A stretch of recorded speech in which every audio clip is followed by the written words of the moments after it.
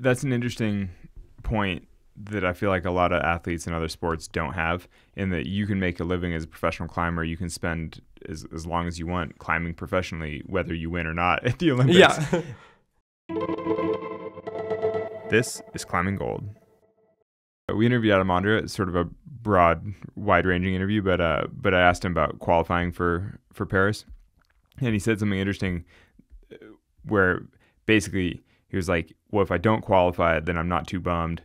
because if I don't qualify, then I had no shot of winning to begin with. And he's kind of like, I'm only going to to do my best, basically. He's like, I'm going to win, and if I don't qualify, then obviously I wasn't going to win. And I'm like, that's such an interesting approach because I've always thought of the Olympics like, if you qualify, how cool is it that you get to go to the Olympics? You Right. know, it's like because I mean, you know, unlike uh, American or whatever the bouldering comp you're talking about, Yeah. sort of like if you get last place at the Olympics, you're still at the Olympics. You know, you're like, that's cool. I mean, it might be disappointing in that you didn't perform your best, but you're like, whatever, I went to the Olympics.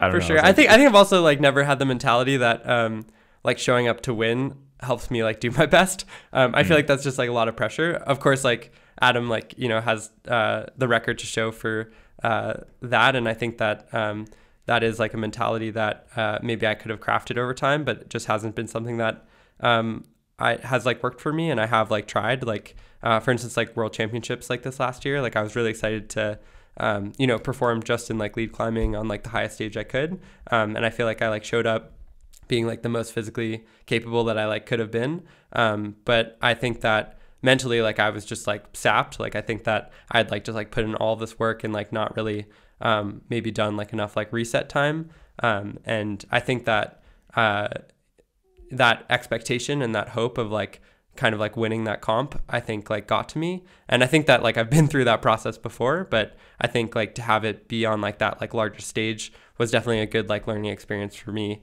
um, at that time. And i think it um, you know resonates for me like going into the games as well. I mean, you're describing something that I feel like all competitors, all Olympians sort of struggle with, which is that expectation of wanting to do their best, but not saying that they're trying to do their best. You know, like wanting to win, but not trying to win, but just, I mean, you know, you, you seem to have a healthy mindset around it. But then everybody has a healthy mind. You know, like everybody says the right things. Like, how do, how do you actually, you know, truly believe that and like do that when you show up at competition? Yeah, I mean, I think like in 2019, like I thought that a World Cup was like the biggest stage I could step onto. Um, I think that like for me, like the you know pool beyond that wasn't really visible, and I thought that this was like my chance, and this was like my the biggest stage that I ever could walk out onto. Um, and I think that maybe the Olympics will be different because it like literally is maybe Is the, biggest, stage? one. Yeah, literally is the biggest Um, one. but but I, I think like having that mindset is like um, pretty consistent. Like you know, like you think that like a 514 is like the biggest thing that you could ever try until you try like a 14B and then a, you know and so on and so on. Um, my coach has like a saying that like uh, we're basically like all bodies of water and uh, you know every day that we show up to climbing is like another like drop in that water. Um, and i think that that's true whether it's like a competition or like a day of training.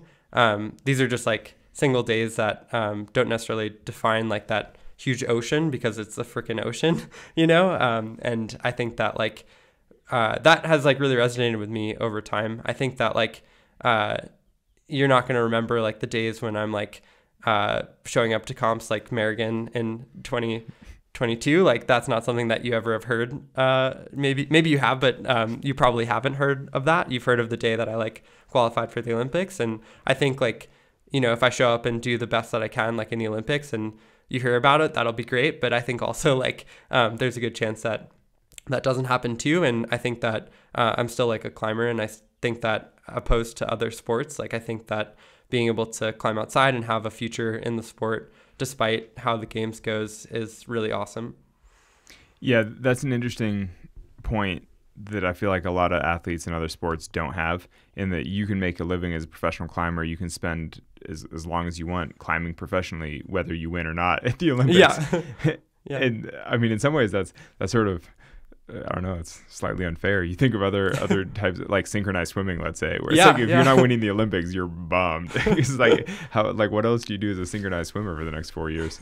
But for sure, yeah. I mean, I think I think like uh, you know that's a funny example because I think it really is like you know they have like uh, shows and things that they do like work towards, but I think I think most sports for sure uh, like that's like the main focus and the main objective for your whole life, and then you show up to the games and it's like uh, yeah, like that like defines or feels like it defines like the rest of your existence.